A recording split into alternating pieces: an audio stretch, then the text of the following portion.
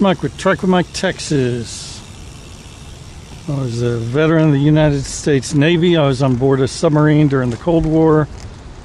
Ours was a fast attack submarine. Only one time did I ever tour a boomer. Boomers are missile boats. They're a lot larger than the fast attack submarines. They're meant to be stealthy and quiet and, you know, be a stable platform for launching missiles. But only one time did I tour one. I toured the USS Ohio, which at the time was uh, it was the first Ohio class sub, but there were maybe less than a dozen or maybe less than 10. I don't know. There weren't so many back in the 80s uh, as there ended up being, but you know, that's because they were fairly new. Anyway, we toured the Ohio and Washington State when we were up there. Um, it was uh, pretty interesting to say the least.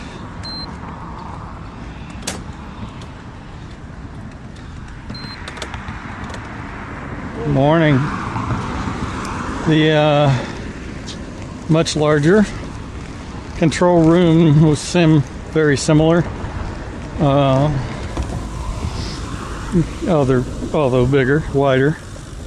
They had a 44 feet beam. Uh, ours was 33, so it's a third again larger than ours, width-wise.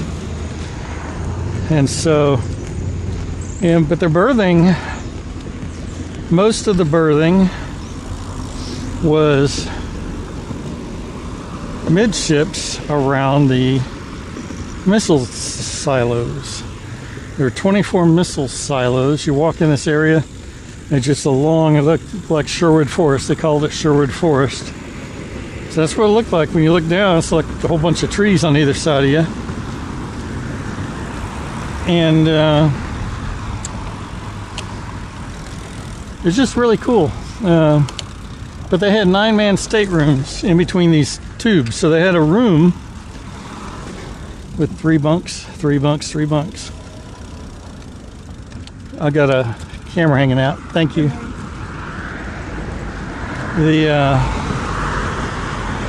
and they had you know a place to hang clothes and all sorts of stuff that we did not have on a fast attack submarine. So I guess my question is to you boomer guys. If you've watched any of my videos, how different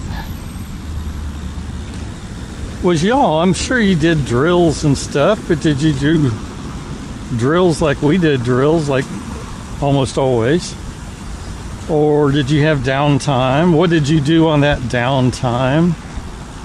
Uh, I know you rotated ports where you you and another crew, so you go in for three months roughly, and then you know get off for three months.